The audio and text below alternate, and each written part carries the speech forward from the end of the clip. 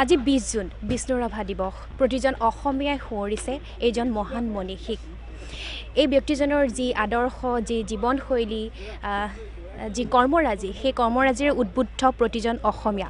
আৰু এই ব্যক্তিজনক অন্তঃকৰণে ভাল পোৱা শ্ৰদ্ধা কৰা এজন ব্যক্তি হৈছে জুবিন গাৰ্গ। আমি জুবিন দাৰ লগত উপস্থিত আছোঁ। একো একোজন ব্যক্তিৰ জীৱনত একো একোজন ব্যক্তিৰ যথেষ্ট প্ৰভাৱ থাকে সান্নিধ্য লাভ কৰে। আপোনাৰ আপোনাক প্ৰভাৱান্বিত কৰা ব্যক্তি এজন হৈছে কলাগুৰু বিষ্ণুপ্ৰসাদ ৰাভা। আপুনি কিয় ইমান তেখেতক ভাল পায়? মোৰ তিনিজন মানুহ মই আইডলাইজ কৰোঁ জীৱনত। এজন বিষ্ণু ৰাভা এজন হৈছে চাৰ্লি চেপলিন আৰু এজন হৈছে চিয়ে গুৱেভাৰা তিনিজনে কিন্তু একেধৰণৰ চিন্তাধাৰা মানুহ লেফটিষ্ট বুলি কয় কিছুমানে কমিউনিষ্ট কয়। বাট বিষ্ণু ৰাভাৰ কৰ্মৰাজিৰ কথা ক'বলৈ গ'লে আচলতে বহুত ক'ব লাগিব কথাটো তেনেকুৱা কাৰণ তেওঁ নকৰা কাম নাই প্ৰথম কথা। সেইকাৰণে তাক কলাগুৰু বুলি কোৱা হয় যে গোটেইখিনি কলা তেওঁ জানিছিলে।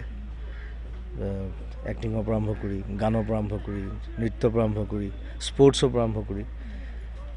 সমাজ কৰ্মী হিচাপে তেওঁ ফেমাছ আছিলে আৰু বিপ্লৱী আছিলে। চ' এই গোটেইখিনি বস্তু একেলগে খুব কম মানুহৰ মাজত দেখা যায়। আৰু একে সেইধৰণে চাৰ্লি চেপলিন তেনেকুৱা আছিলে। তেওঁ নিজে মিউজিক কৰিছিলে নিজে এক্টিং কৰিছিলে নিজে স্ক্ৰিপ্ট লিখিছিলে চিনেমা কৰিছিলে আৰু বিপ্লৱ কৰিছিলে চিনেমা জগতত। চ' সেইকাৰণে মই সেই দুজন এই তিনি তিনিজন মানুহক ভাল পাওঁ। চেই গৌৰভৰ তেনেকুৱা তেওঁ বেলেগ ধৰণে বিপ্লৱী আছিল। আৰু বিষ্ণুৰাভাৰ আহ, এতিয়া কৰ্মৰাজি যথেষ্ট ডাঙৰ আচলতে। তেওঁৰ সেইকাৰণে তেওঁৰ বিষয়ে চৰ্চাটো বৰ দৰকাৰ। প্ৰচাৰ আৰু প্ৰসাৰ এই দুটা শব্দ কওঁ মই। তেওঁৰ কৰ্মৰাজিৰ প্ৰচাৰ আৰু প্ৰসাৰটো বৰ দৰকাৰ আজিৰ প্ৰজন্মৰ মাজত। আপুনি যিহেতু কলাগুৰু আৰ্টিষ্ট ফাউণ্ডেশ্যন আয়োজন কৰি আহিছে তেওঁৰ কৰ্মৰাজি প্ৰচাৰ প্ৰসাৰৰ বাবে আৰু কিবা জুবিন গাৰ্গৰ সপোন আছে নেকি? বিষ্ণু ৰাভাক আহ, লৈ পেলাই অদূৰ ভৱিষ্যতে। তেওঁক লৈ এখন চিনেমাৰ প্লেন আছে মোৰ। সেই বিষয়ে মই কথা পাতিছোঁ তেওঁৰ পুত্ৰৰ লগত। চ' পিৰিয়ডিক চিনেমা হ'ব সেইকাৰণে অকণমান টাইম লৈ ভালকৈ কৰিম। আৰু যথেষ্ট পইচা খৰচ কৰি কৰিব লাগিব। এনেই মানে সৰু কম পইচাত কৰিলে নহ'ব ৰাভাৰ ওপৰত যিখন চিনেমা হ'ব। চ' তেনেকুৱা প্লেন আছে। আৰু কলাগুৰু ফেষ্টিভেলটো এতিয়া আমাৰ লাহে লাহে ডাঙৰ হৈ গৈ আছে। বাহিৰলৈ নিয়াৰ কিবা আপোনাৰ প্ৰচেষ্টা আছে বাহিৰত নহয় মই প্ৰথমতে ইয়াতে কৰিম। কিন্তু বাহিৰৰ আৰ্টিষ্ট অনাৰ প্লেন আছে। মই এতিয়া যোৱা বছৰ আনিছোঁ মই বেংগলৰ পৰা আৰ্টিষ্ট আনিছিলোঁ। আৰু এইবছৰো পাতিম আমি এইবছৰ টংলাত পাতিম। এইবছৰ মই ভাবি আছোঁ কাক মতা যায় কোন কোনখন ষ্টেটৰ কোনোবা এখন এখন বেলেগ বেলেগ ষ্টেটৰ এটা কালচাৰেল এক্সচেঞ্জ হ'লে ভাল হয় এজন ভাল ভাল আৰ্টিষ্ট যদি আমি মাতোঁ এজন বা দুজন। আৰু সেইধৰণে তেওঁ সেইধৰণে ঘূৰি ফুৰিছিলে। কোচবিহাৰত আছিলে কেলকাতাত আছিলে বেলেগ বেলেগ জেগাত ঘূৰি ফুৰিছিলে বিভিন্ন আৰ্টিষ্টৰ লগত সান্নিধ্য লাভ কৰিছিলে তেখেতে। চ' তেওঁৰ সেই সেই যিটো চিন্তাধাৰা যিটো কালচাৰেল এক্সচেঞ্জ সেইটো মই সেই কলাগুৰু ফেষ্টিভেলৰ জৰিয়তে মই সেইটো আকৌ প্ৰতিষ্ঠা কৰিব বিচাৰিছোঁ। আৰু ইয়াত চবে সবেই চবেই সহায়ো কৰে। এতিয়া কলাগুৰু আৰ্টিষ্ট ফাউণ্ডেশ্যনত অসমৰ বেছিভাগ আৰ্টিষ্ট আছে তাত সোমাই আছে চবে। আৰু তাৰ জৰিয়তে আমি বিভিন্ন মানুহক সহায় কৰোঁ দৰকাৰ সময়ত। যিখিনি পাৰোঁ কেতিয়াবা বেছি নোৱাৰোঁ বাৰু যিমান বিচাৰে। যিখিনি পাৰোঁ আমি সহায় কৰোঁ। গতিকে সেই প্ৰচেছটো অব্যাহত আছে। তেওঁ যিহেতু বিপ্লৱী সত্তা তেওঁ এগৰাকী। আৰু তেওঁ সমাজ সংস্কাৰৰ কাৰণে কাম কৰিছিলে বা সমাজখন নিকা কৰিবৰ বাবে কাম কৰিছিলে যথেষ্ট। তেওঁৰ আদৰ্শ তেওঁৰ যি নীতি সেয়া আচলতে ব্যতিক্ৰম। কিন্তু বৰ্তমান সমাজত তেওঁৰ সেই নীতি আদৰ্শ জীৱনশৈলীৰ প্ৰাসংগিকতা আহি পৰিছে নি বৰ্তমান সমাজখনৰ যি অস্থিৰ অৱস্থা? আপুনি কি ভাবে? নিশ্চয় আহিছে কাৰণ এতিয়া খুব পলিটিকেলাইজড হৈছে গোটেই কথাবিলাক। গোটেই সমাজখন গোটেই ল'ৰা ছোৱালীবিলাক পলিটিকেলাইজ কৰিছে কংগ্ৰেছেই হওক বিজেপিয়ে হওক কে জি পিয়ে হওক চবে বেলেগ বেলেগ ধৰণে নিজৰ বস্তুটো মানে প্ৰতিষ্ঠা কৰিব বিচাৰে। চ' আমাৰ ল'ৰা ছোৱালীবোৰ কনফিউজড হৈ গৈছে। বিষ্ণুৰাভাৰ আদৰ্শটো বেলেগ আছিলে এইটো ছ'চিয়েলিজম মই যিটো বিশ্বাস বিশ্বাস কৰোঁ। ছ'চিয়েলিষ্ট হিচাপে সমাজৰ কাম কৰিব লাগে মানুহৰ কাম কৰিব লাগে ইটছ এ চিম্পল থিং পানীৰ নিচিনা হ'ব লাগে। যিফালে সমাজে বোৱাই নিয়ে সেইফালে বৈ যাব পাৰিব লাগে। আৰু সেই বস্তুটো সেইকাৰণে আকৌ ঘূৰাই আনিবলৈ চেষ্টা কৰিছোঁ আমি। তেওঁৰ যিবোৰ গীত আছে গীতসমূহ শুদ্ধ ৰূপত স্থায়ী ৰূপত যুৱ প্ৰজন্মৰ মাজলৈ নিবলৈ তেওঁৰ পৰিয়ালবৰ্গে কাম কৰিয়ে আছে গোটেইখিনি।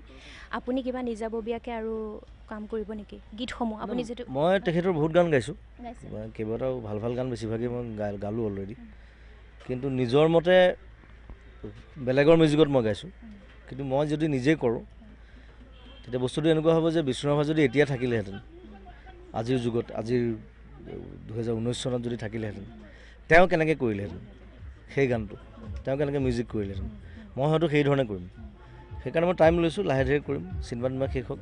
মোৰ প্ৰজেক্ট আছে কিন্তু আপোনাৰ প্ৰথম তেওঁৰ যিটো গান গাইছিলে জয় জয় জয় সেই গীতটিৰ আঁৰতো সৃষ্টিৰ আঁৰতো এটা কাহিনী আছে হয়তো? সেইটো আচলতে তেখেতৰ শতবাৰ্ষিকীত মোক যিসকল জড়িত আছিলে গোটেই শতবাৰ্ষিকী কমিটিত তেওঁলোকে মই বম্বেত থাকোঁতে মোক ফোন কৰি কৈছিলে যে শতবাৰ্ষিকী পাতিছোঁ আমি বিষ্ণুৰাভাৰ। চ' তুমি এটা গান বনাই দিব লাগে। মই সেইকাৰণে একে ৰাতিৰ ভিতৰত সেই গানটো কৰি তেওঁলোকক মই উপহাৰ দিছিলোঁ আৰু সেইটো তেওঁলোকে বজাইছিলে শতবাৰ্ষিকী অনুষ্ঠান। ত' সেই গানটো সেই তেনেকৈ থাকি গ'ল। সেইটো আচলতে ৰাভাক সুঁৱৰি তেখেতক শ্ৰদ্ধা জনাই বনোৱা গান।